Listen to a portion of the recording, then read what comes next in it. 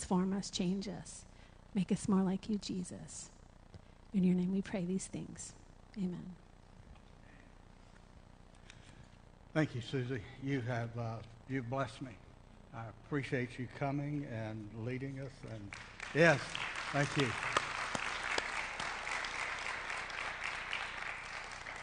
Young lady with tremendous talent, just give it back to the Lord. And you know that's basically all that's required of all of us, right?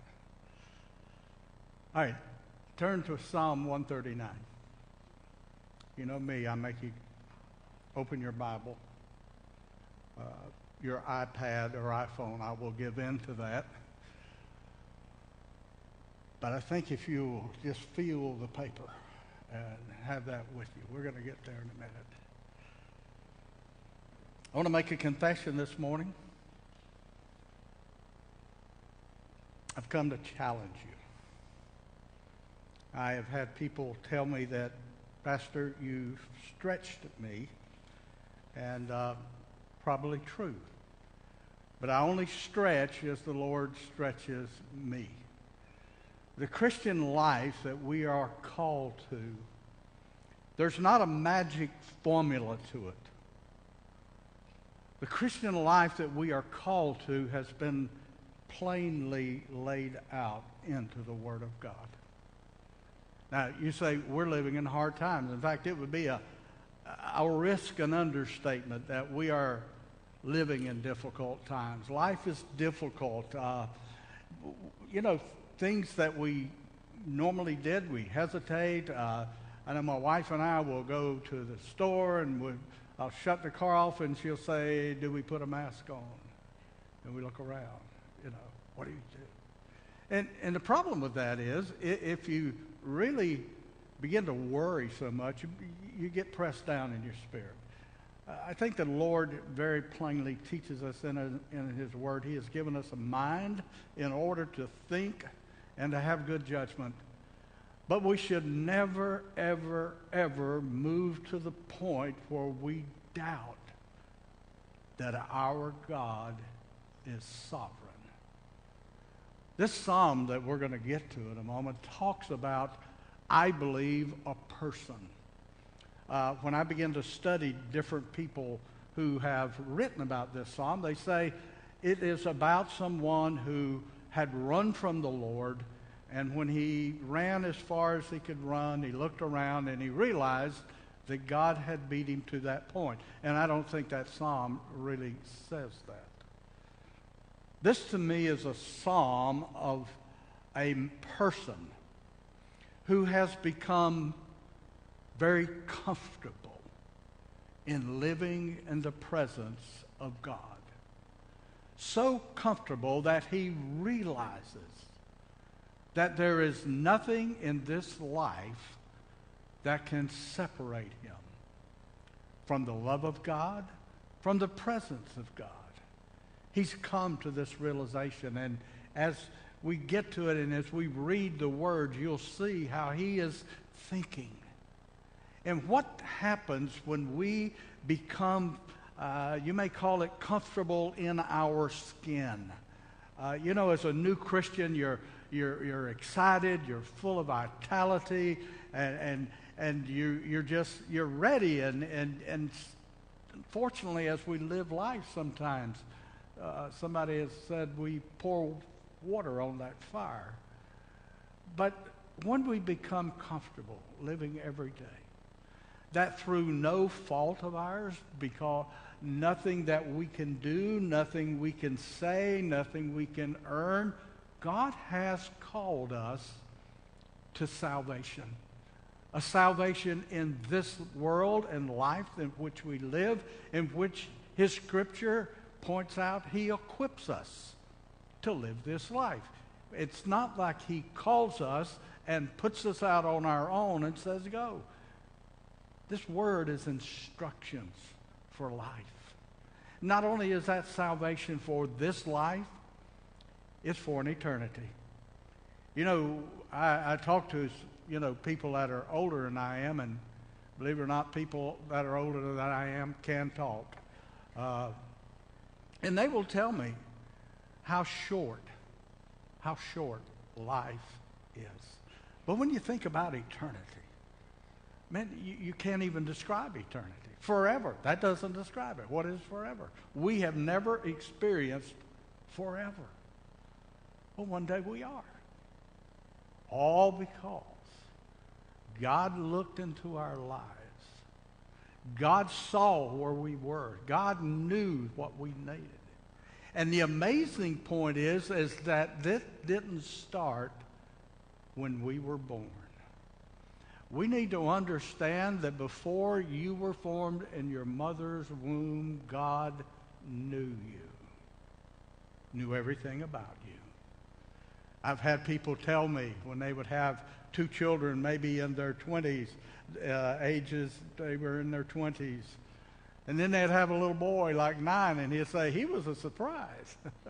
and I've often wondered if that poor kid just carried this thing on him that one day he just showed up at mom and dad's door, you know, and we cause him to go into some kind of psychotic reaction, and he suffers in life. I don't know. Psychologists makes all kind of stuff up. No one is a surprise. Your life is not a surprise. We simply are called to live up to that life. Now, the call that I speak about this morning is not the call to salvation, but the call to discipleship. You see, I think that's the most under-taught doctrine in the Word of God. The call to discipleship. This call goes beyond what we have come to learn as easy believism. You know what that is. All you have to do is say certain words, fill out a form, give it to them, be baptized. That's all you got to do. From then on, you just live in life. And people have bought into that, that all I'm called to do is be a child of God. And salvation is simply the beginning. It is a beginning call. And that call was not to just simply follow, it was to be a disciple. If you read the Gospels there, there, and, and you read them over and over, different things begin to surface. And the one thing that I found one time was that there was a difference between the disciples that God used and sent out and the vast followers, the crowd that that Christ always drew everywhere it went. In fact, as I begin to look at all of that crowd and I go over to the book of Acts, and, and Christ has now been crucified, he's placed in a grave, he is resurrected, he has appeared to his disciples, he has ascended into heaven, and the believers of Christ's ministry are gathered in one room and they're counted as 120. In today's resumes as a leader or pastor, that wouldn't get you very far. But yet, you see, there, that shows me the distinct difference. Those who come for what is on Jesus' table. He fed 5,000 on the mountaintops. They come for his healing. They want their life settled. But you see, there is an exchange in the Christian life. And the word discipleship should not bring fear into you. It simply means that you are growing into a more intimate knowledge of the Lord Jesus Christ. And, and a part of that knowledge is this you become fully aware that your life is not yours. The scriptures even said, Your life is not yours. You have been bought with a price.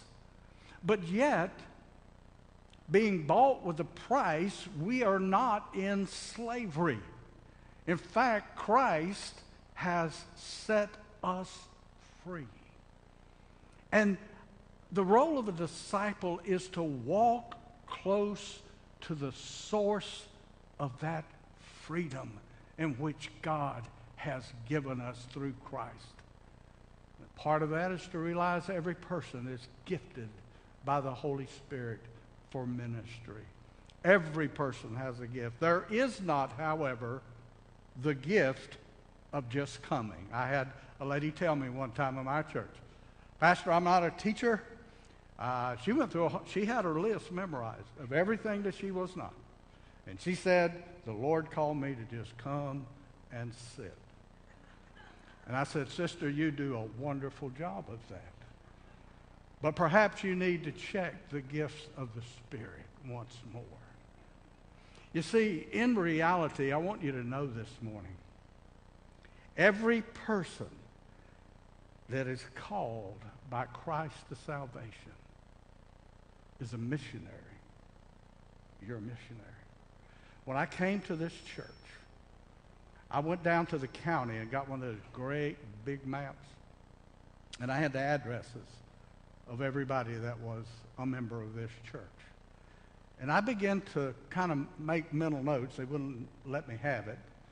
Make mental notes of where people lived that called this church their membership.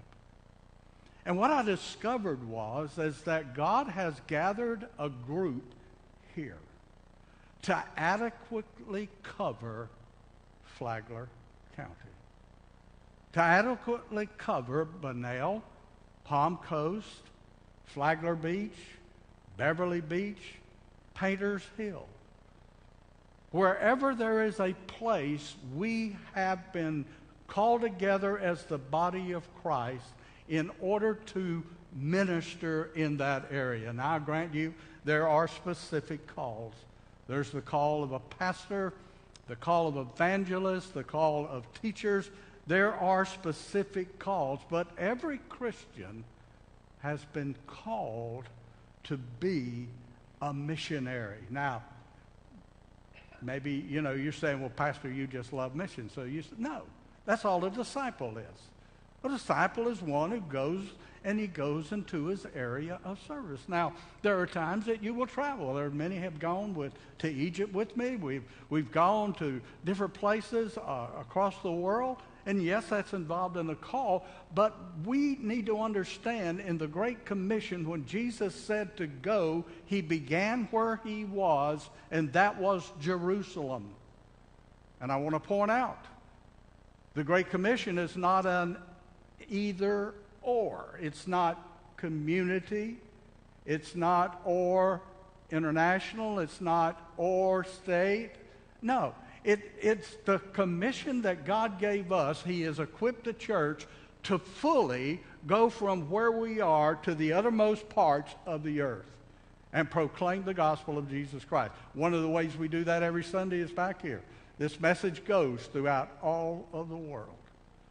We go put our feet down. But people where you live is the most important mission field that you will ever see. You see, coming to Jesus Christ will shake your life up. We don't tell people that sometimes. When you come to Christ, it's going to shake your whole life up. It just as a physical death, there's pain and a disruption of your life. When you begin to die spiritually to your old man, there is pain pain of losing habits, pain of losing thoughts, and allegiance from self to God. There is this process of moving from the old into the new. And part of that is the call of God in Christ. Now, let me say to you, doctrine is very, very important. In fact, I can say on behalf of Andrew and Doug that the doctrine of the Lord Jesus Christ is preached from this pulpit. We don't preach our thoughts, our view on things. We preach, thus saith the Lord. And one of the most important doctrines of Christ, God that I know, I believe is the foundation that God is sovereign. Now, I know people will say that, but my question to you this morning do you believe it? Do you believe that God is sovereign when he calls you out of your comfort zone?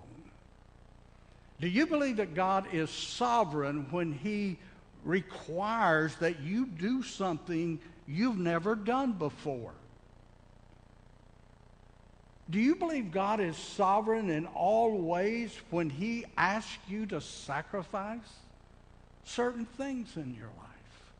You see, God is either sovereign all the time or he's not God, he is not sovereign at any time. You See, God is in control of every event in life, all of life, all the places in the world. There's no luck, there's no uh, accidents, no happenstance. God is sovereign over creation, He is sovereign over mankind. Now, it may be hard to wrap your mind around the fact that just like God knows what's going on as a unit here, He knows what's going on in each individual mind, and at the same time, everything across the world. That may be hard to get your head around, but it's one of those things that you just simply yield to and begin to use that as a part of your armor. Times are rough, things are not normal. I don't understand what's going on, but God is sovereign. Because if we think any other way, we begin to slip back. We begin to fear. We begin to hold back. And before long, we begin to doubt God. Adversity, suffering is difficult to face. The unknown is difficult to face. But when we know God is in control, there's nothing that we can't face. Nothing. Listen, we glorify God when we acknowledge His sovereignty. We're encouraged in Scripture. God demonstrates His truth. But you know what? You can know every doctrine and be able to quote it in the Word of God. But until you put that doctrine to use, to acts into your life, to become your life, you're like a book of knowledge sitting on a shelf that just within itself will never help you. I tried to get through algebra by sleeping on the algebra book. I heard osmosis works. Osmosis, osmos got me an F in algebra. Friends, it's the same way. And we really don't emphasize this enough. The doctrine of the Lord Jesus Christ is only as good for us as we believe it and put it into action. That's where the call of God comes. I want to announce this morning every person sitting here has an individual call from God for something. Everyone here, no one's escaped. And I, th- I thought about how would I illustrate this? Well, I, I, I went to the Hall of Faith, Hebrews 11. And, and let me just say as an aside, if you have never gone to Hebrews chapter 11, and when you read a name, search a scripture to find out about that life, you've missed out on the story of Hebrews 11. Now, Abraham, we all know, and Abraham was just simply called to go from where he was to, to a direction because God said, I'll show you where you go. And so he just set sail and waited for God to tell him, here it is. In fact, the scriptures record Abraham believed God and it was counted to him as righteousness. But it wasn't that he stayed in Mesopotamia and said, God, I believe that you will bless me, and I believe that all the families in the earth will be blessed through me, and he stayed in Mesopotamia. He believed that to the, to the rhythm of his feet going where God told him to go. I'm going to briefly mention three other guys who were called in similar times as ours. Ours is a time of confusion. Ours is a time when the nation has totally turned from God. We are living in a woke generation. And I think it's time they went back to sleep. But that's what they call them. They woke up one day and thought something should be. And if they were a famous basketball player, everybody said, oh, he scores 30 points a game. He must have the words of life. Or an actor will dream and decide, this is the thing that ought to be. And everybody says they have an Oscar. And they won an Emmy. They're a great actor or actress. They must know what they're talking about. And we change our minds. But you see, the woke generation has totally disregarded that God is sovereign over this earth. And just because it seems that everything we see in our papers and hear on the news and see in the actions of people says God is not in control, God has not given up his authority. God has called a people. There was a guy named Isaiah. You know him? He wrote 66 books in one little book, 66 chapter in one book. Isaiah's call came when a close personal friend happened to be a king, King Uzziah. He served in the court of the king and he died. And it said, In the year that King Uzziah died, I saw the Lord. He saw the Lord high, lifted up. He saw that the train of his robe filled the room. He heard the angels singing, Holy, holy, holy is the Lord of hosts. The whole earth is full of his glory. And Isaiah, on response of seeing God, said, Woe is me, I'm a man of unclean lips, and I live in a land of unclean people. But God still said, Behold, I have, I have touched your lips. Your guilt is taken away, and your sin is atoned. Then the call. And I heard a voice of the Lord saying, Whom shall I send? and where shall who will go for us? And Isaiah responded, Here am I, Lord, send me. He was sending Isaiah to a rebellious people who would soon be conquered and overthrown. That was the call. It landed Isaiah in a lot of trouble. There was my man Jeremiah. I love Jeremiah. Jeremiah he come in contact with God, and God just put him right in his place. He said, Jeremiah, before you were formed in the womb, I knew you. And before you were born, I consecrated you. I appointed you a prophet to the nations. And I'm convinced Jeremiah was Baptist. I'm going to tell you why. I'm going to prove it by Scripture. Jeremiah said, Oh, wait a minute. I don't know how to speak. I'm only a youth. Excuses. There used to be a Southern gospel song, Excuses, for you Southern gospel people. But here's what God said. Ah, don't say I'm only a youth, for to all to whom I send you, you will go. And whoever I command you, you shall speak. And don't be afraid of them, for I am with you to deliver you. And the Lord put his hand and touched my mouth. And he said, I put my words in your mouth. And this is your ministry to pluck up, break down, destroy, overthrow, but plant and to build. When you read Jeremiah, you find out God said, Jeremiah, I'm going to send you to these people, but they're not going to listen to you. They threw Jeremiah in a pit filled with water. They, they tried to starve him. They made him uh, escape and, and go to Egypt. Jeremiah lived a life of hardships. In fact, when you read the book of Lamentations, which is written by Jeremiah, it's full of woes, it's full of laments of a broken heart watching God's city be destroyed. And yet, Jeremiah went, not being assured of any victory at all. One other guy, Ezekiel. I love Ezekiel.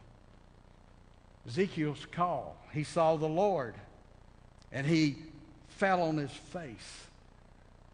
He said to him, Son of man, stand up on your feet, and I will speak to you. Son of man, I send you to a people of Israel, to nations of rebels who have rebelled against me. I send them to you. You shall say to them, Thus saith the Lord God. And whether they hear or refuse to hear, for they are a rebellious house, they will know that a prophet has been among you. Do you get the picture I'm trying to paint? Anybody will go when they are assured of victory. 30 years ago, it was easy to get people to gather at a church on Tuesday night. Seemed to be our night, Tuesday night, where we swooped in to the visitors who had visited us on Sunday and knocked on their door and, and began to talk to them. I remember in the church that I formerly was in, over 150 people, 100 to 150 would meet on Monday night and have a meal, and they would go out knocking on doors. We say now we can't do that because we live in gated communities, and yet we're not all in gated communities. You see, the thing that we look, when you read Isaiah, Jeremiah, and Ezekiel, they found a way to obey the call of God. But in a greater sense, I want you to know that these three men, they were not superheroes of the faith. They had flaws, they had failures. They were just like you and I. What was the sense that drove them? It was the fact that they knew God was sovereign. And they would follow, they would go, they would obey. Did you get what God said Ezekiel is to do? You see, when we preach, when we share with our friends, and the reason I say you're missionaries in your community, you're living among people who do not have a relationship with Jesus Christ, and they are struggling in which they're going through. And when they see you going through day by day, not being knocked down, there, there is a desire to know what do you have? What do you know that I don't know? And what do we proclaim? we proclaim the gospel of Jesus Christ. Psalms 139. Hope you have found it by now. I've given you ample time. O Lord, you have searched me and known me. You know when I sit down and when I rise up. You discern my thoughts from afar. You search out my path and my lying down, and you are acquainted with all of my ways. As I said, I do not believe this is a psalm written by a man with the intention of showing that he tried to run from God, and God finally found him. I think this is a man who is involved every day following Christ every day being faithful to his word. And he, he runs into hardships like we all do. He runs into failures. In fact, there's times, no doubt, that he miserably failed in what he attempted to do and in the life that he attempted to live. And you see, today you need to understand as long as you live in this flesh, you will no doubt fail, you'll falter, but God said, when you fall, I'll catch you before you fall face first. He was rehearsing, I think, how, what, what, where his strength come from. I remember playing football, and you're intent on exactly what you're supposed to do, but you're aware of, if you're a halfback, what your lineman's doing and, and there's times that you, you run and you can't make it, you run and you can't make it. Kind of reminds me of the Florida Gators. They'll run the same play 20 times. Won't work 20 times, but they think one day it will.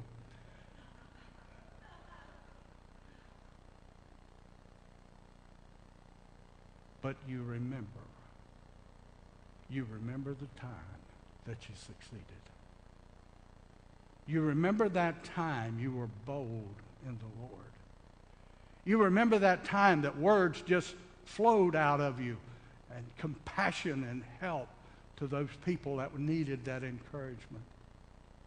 This man is sitting there and saying, There's nothing about me God doesn't know. And if there is something that we need to shake today as Christians, it's the fact that we can hide from God uh, you know, the stupid television ads. Go to Vegas. What happens in Vegas stays in Vegas. I got news for you, doesn't There's nothing that we think is hidden is hidden.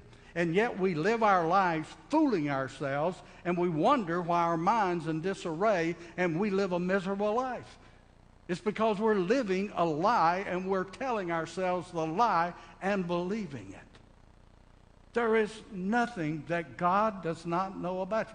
He says this even before a word is on my tongue, behold, O Lord, you know it all together. What do you think about that? Oops. Before you say a word.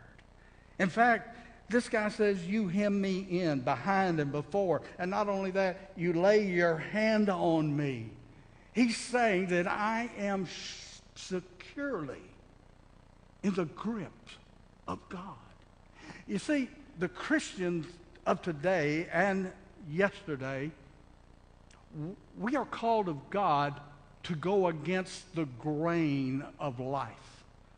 We have never been called to conform to this world system, this sinful system, this uh, every kind of ideology that you can think of. We have never been called. We are to stand alone in Christ because this is the point of truth. Listen, if you've bought a house, you've had people come out and survey your property. And there's always that point right there that they set every bit of your property bounds in order for it to be a legal description that point in this world as Christians are the beginning point of life for those that are dying in their sins, dying in their depressions, dying in their heartbreaks, dying because they have no hope. And this is a standard that is steadfast and true. And it's true because God is sovereign. And when we stand on that truth, no matter what comes against us, front and back and his hand on us. God, when he sends, no one can stop. What about this? He said, Such knowledge is too wonderful for me. It's high. I cannot attain it. He's thinking about this. In Christ, we are invincible. Is that an overstatement? I don't think it is because the scripture says in Christ I can do all things who strengthens me. In fact, our lives should be lives in which we dream dreams we cannot fulfill. Because when we dream dreams that only God can fulfill, then it's the hand of God. And the glory goes to God. He said, I can't think about this. And then all of a sudden, he says, Where can I go from your spirit? Or where can I flee from your presence? Uh, if I ascend to the heaven, you're there. If I make my bed in Sheol, you're there. If I take the wings of the morning and dwell in the uttermost parts of the sea, even there your hand shall lead me, and your right hand shall hold. I want you to grasp these truths because they're yours as a child of God. And I want you to grasp them because I want to tell you what Jesus said was the cost of discipleship. Jesus said in Matthew 10:34, "Do not think that I've come to bring peace to the earth. I did not come to bring peace, but a sword, for I have come to set a man against his father, and a daughter against her mother, and a daughter-in-law against her mother-in-law, and persons' enemies will be those of their own household. Whoever loves father or mother more than me is not worthy of me, and whoever loves son or daughter more than me is not worthy of me, and whosoever does not take up his cross and follow me is not worthy of me. Whoever finds his life shall lose it, and whoever loses his life for my sake will find it. Those come under the headings of hard words of Jesus. Now, Jesus isn't talking about picking an argument. He is talking about that within the members of your own family, when you make this commitment and Christ calls and you grasp that call of salvation, you need to understand it doesn't matter if father or mother or mother in law, father in law, any of the family come against you. You are to stand in that call, and often the, the call of Christ does not bring peace in the family as assuredly as it will not bring peace in the world. But that's what we're called to. When Jesus said, take up his cross. The cross is an implement of death. What is it that we die? Paul said, I die to myself every day. The things I would normally want, the things that I would normally think, the things that I would normally say, the things that I would normally not do. We're to die. He went further. Matthew 16, 24. Jesus told his disciple, if anyone would come after me, let him deny himself and take up his cross and follow me. For whoever would save his life would lose it, and whoever would lose his life for my sake will find it. For what does it profit a man if he gain the whole world and forfeits his soul? Or what will a man give in return for his soul? There are hard sayings in Scripture that we choose not to read.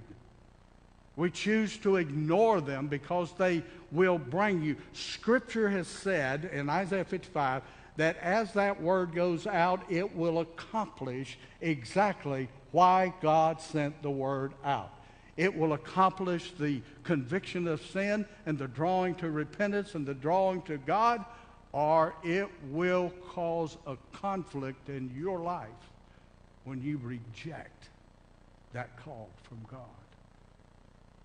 You see, we can't save ourselves by being disobedient to God.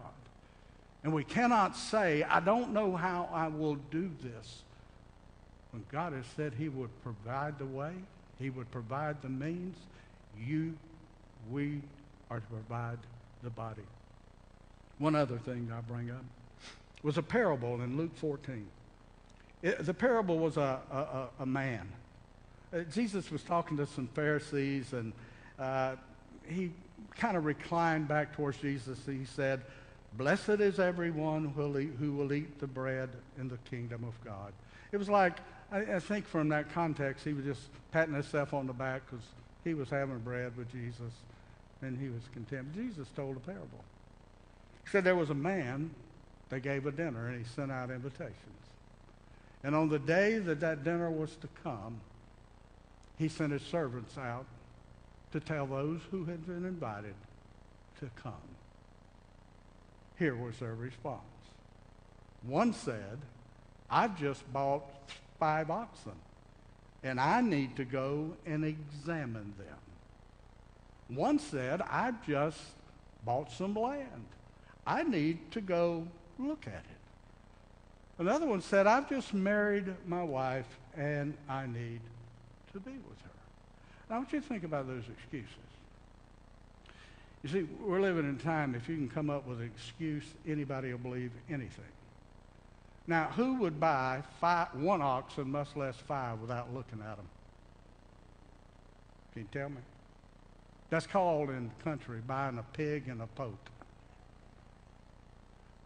Who would buy land without looking at it?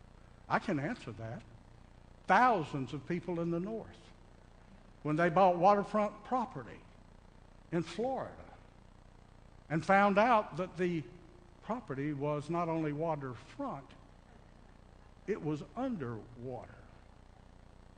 Do you, do you see the foolishness of excuses? And in fact, any excuse that says to God, I can't do or complete what you've called me to do is a slap in the face of God because He already knows you can. Because He has provided the means. If I take the wings of the morning and dwell in the othermost parts of the sea, even there your hand will lead me, and your right hand shall hold me. If I say, see the excuses? If I say, Surely the darkness will cover me, and the light around me be night. Even the darkness is not dark to you. For night is as bright as the day, and darkness is as light to you. And then this man comes to some information and belief that our world is for God. For you, O oh God, formed my inward parts. You knitted me together in my mother's womb. I praise you, for I am fearfully and wonderfully made. Wonderful are your works, My soul knows, knows it very well. My frame is not hidden from you. When I was made in secret, intricately woven in the depths of the earth, your eyes saw my unformed substance. In your book were written, every one of them, the days that you were formed for me, when yet there was not one. Every soul, every person is created by God, for God, and has value. We're living in a time when society assigns what is valuable and what is not. But I am afraid sometimes we as Christians, we forget that every person was intimately created and formed. And God knew their days. He knew everything that, that would be about their life.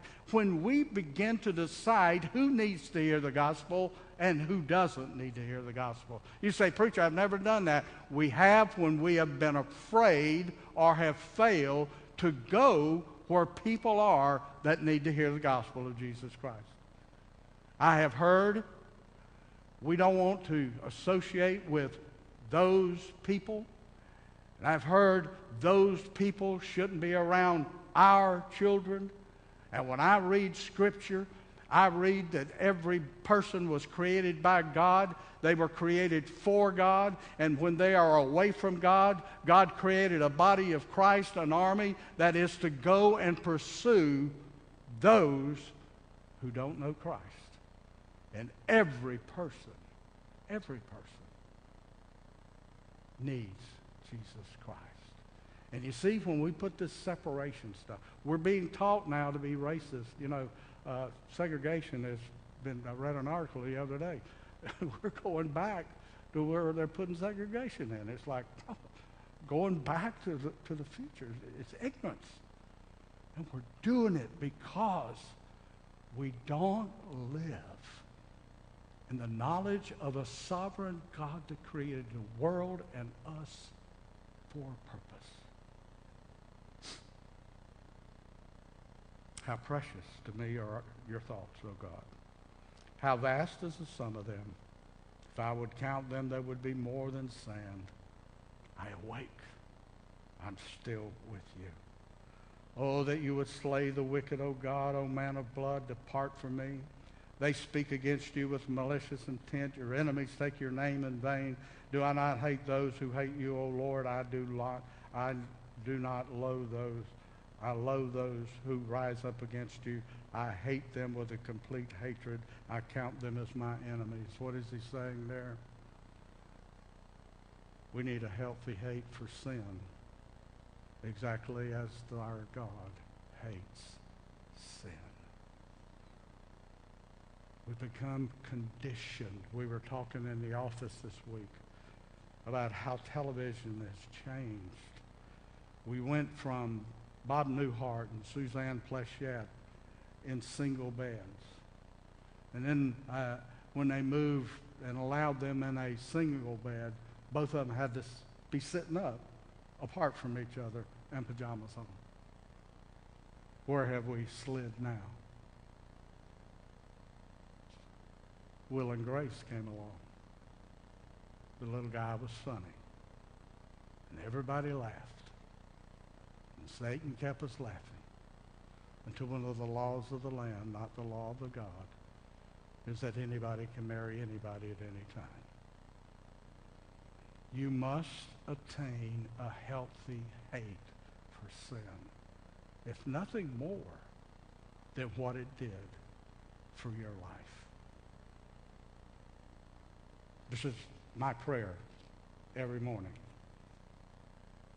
I urge it to be your prayer. Because just as this man checked the facts and became settled in Christ, so should we. Search me, O God, and know my heart. Try me and know my thoughts. See if there's any grievous, any hurtful way in me. And lead me into the way of everlasting life.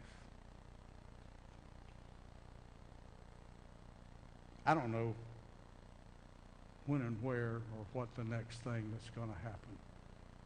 But when I read Scripture and see the events of this world, it's almost like God is saying, something's got to happen.